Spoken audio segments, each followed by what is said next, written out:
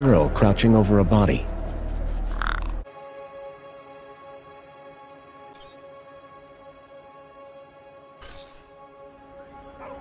I'd already decided it was going to be my last night in Max's village.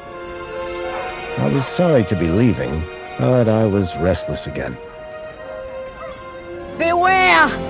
The day grows dark, and demons stalk the gap by night. Harsh old woman, stop your superstitious nonsense. Besides, this is the best time of day for fishing, eh, Milo? Yes, Dad. Look, Foster! I use these broken sensors to make a fish alarm. It detects the fish before it bites. Nice work, Milo.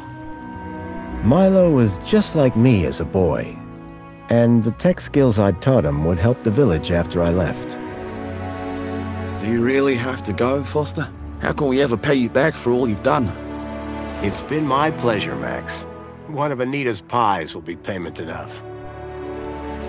I owed the Gap folks so much. My first tribe fostered me when I was orphaned all those years ago. They taught me how to recycle tech scavenged from city dumps. Soon, I even built myself a playmate. I'm your friend. Call me Joe. Joey. Joey and I were always together. As I grew, I upgraded him. He became the best friend I ever had.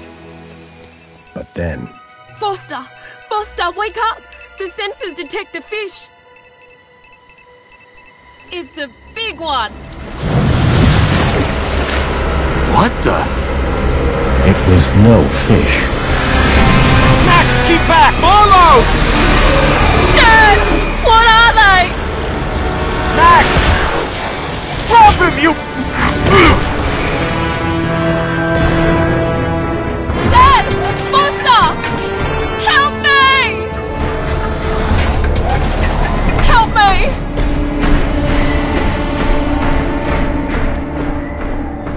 Milo had gone. The machine, too. But its riders had left something behind. Max? Milo? What's happened, Foster? Where's my son?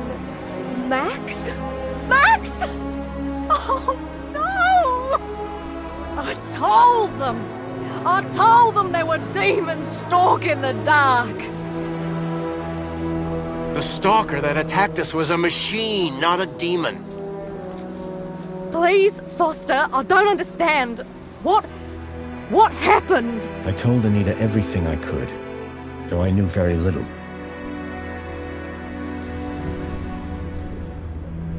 Max was barely conscious.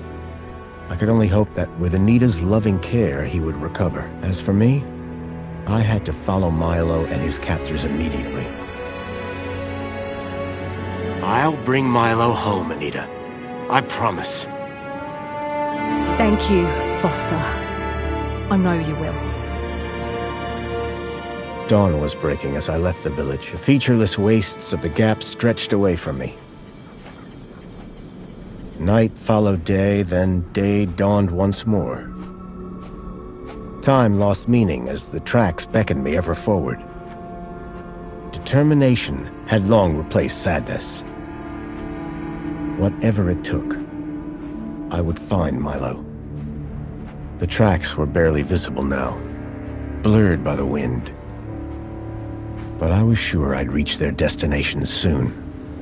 Then I saw the thing I feared the most approaching. Sandstorm.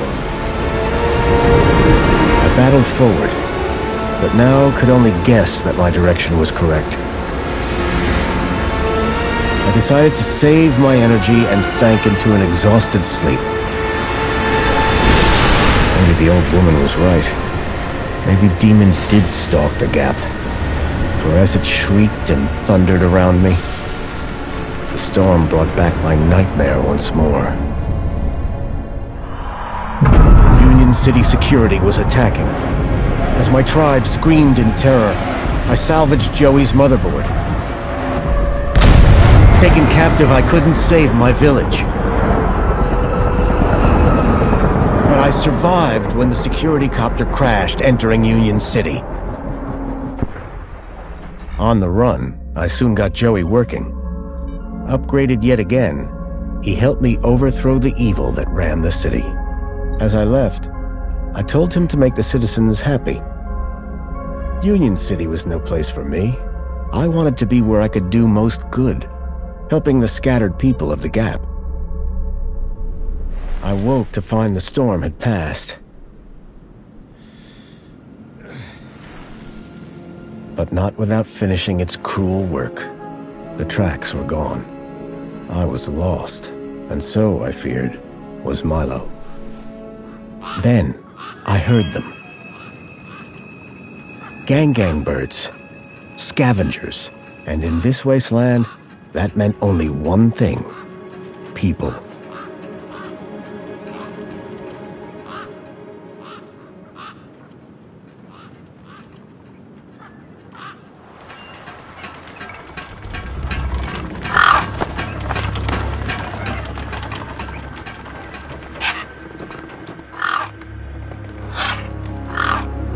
Despair turned to hope. I was sure that if I could find where the stalker had gone, I would find Milo. Then, in the distance, I saw a girl crouching over a body.